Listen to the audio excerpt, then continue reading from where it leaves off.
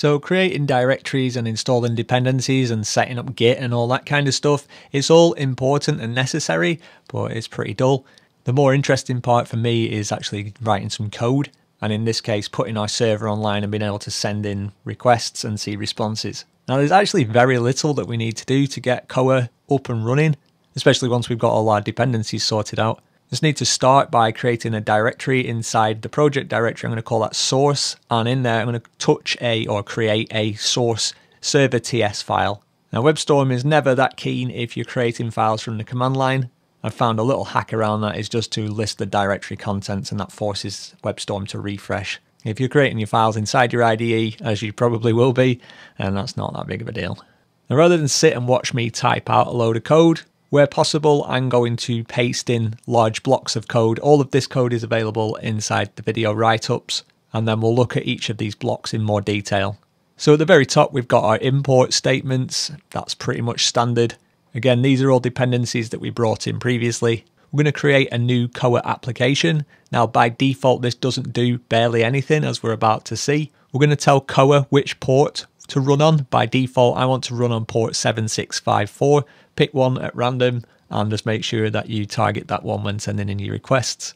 We're saying here that if the port is defined on the command line, then take that as priority, otherwise fall back to our default. Now Koa is made up of middleware and we have to specify which middleware we want to be available for each request. In this case, I'm going to start off by using the body parser middleware.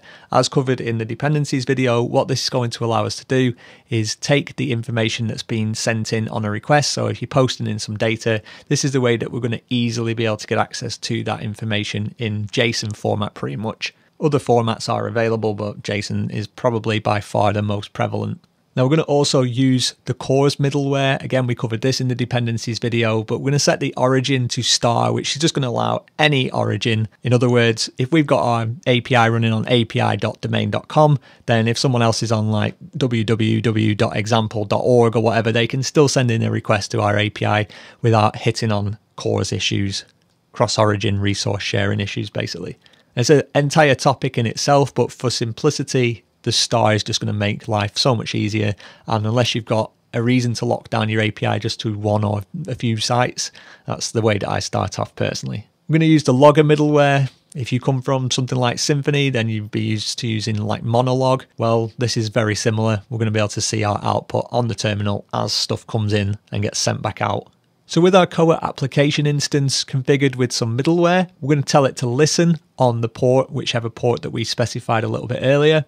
And when it starts up, we're going to just log out the port that it's listening on. In the event of any error, we'll just log out that error object and deal with it as and when.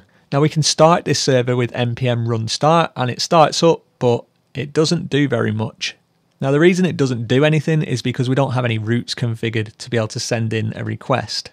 So let's add one in now. Now to demonstrate this as quickly as possible, what I'm going to do is define my route inside the server.ts file.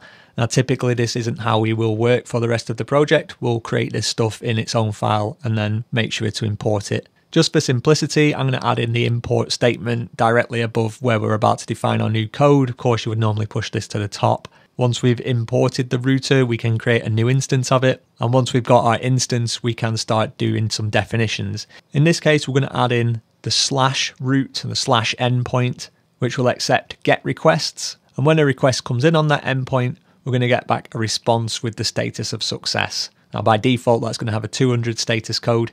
We'll see a little later on in this course how we can change that status code as necessary. For the moment, a 200 status code is fine. In order to send something back, we'll need access to the context object. And this is available to us because this router is just another middleware configured in our stack of middleware in our Koa application. And for every middleware that's called, the context object will be passed in as an argument. Now, the context is a wrapper around Node's request and response objects, and it just provides them as a single object. This is a little bit more of an advanced topic, and we don't need to cover that at this stage.